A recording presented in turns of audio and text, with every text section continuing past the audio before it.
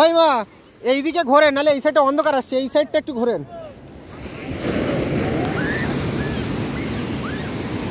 কই, দেখি এবার। কই? ও মা!